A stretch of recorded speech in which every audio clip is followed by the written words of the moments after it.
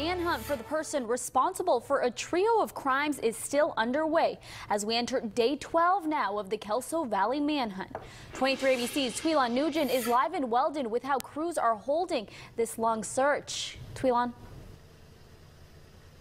Good morning, Leslie. Now, it's been about one week since authorities last came in contact with the suspect who is believed to be responsible for a kidnapping, a homicide, and the shooting of two sheriff's deputies. Now, the search for him hasn't only been difficult on the law enforcement involved.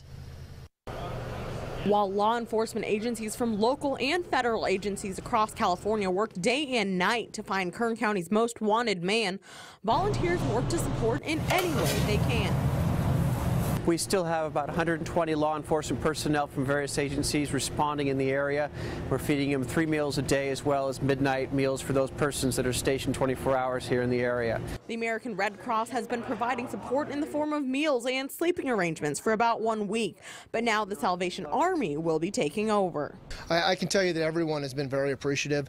The 14 different law enforcement agencies have expressed how grateful they are for support, and they know the cost associated. But the Salvation Army is conscious of how to effectively manage that limited budget. We're able to spend some time doing uh, cost estimates, we do meal planning, and we bring that cost way down. Right now, I'm delivering meals at 70 cents a meal per person. Now, we've asked officials day after day how long they're planning to continue this search. They say they are willing to continue as long as it takes to get this dangerous man off the streets. Now, they do have a management team in place that analyzes each day to keep an end in sight. Live in Weldon, Twila Nugent, 23 ABC.